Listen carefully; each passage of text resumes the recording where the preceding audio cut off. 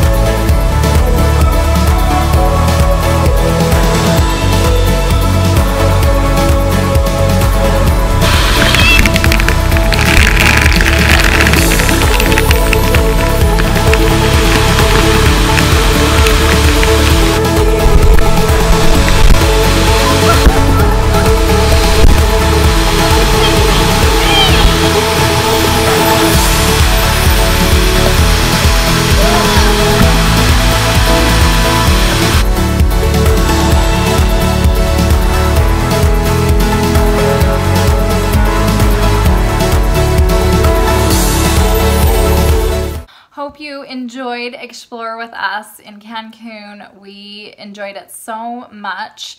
This park was beautiful and absolutely amazing. So if you ever get a chance to go to it, I highly recommend it. Next week, we will be having a video on Jamaica, our next stop. Kita would be so happy if you would like, share, and subscribe.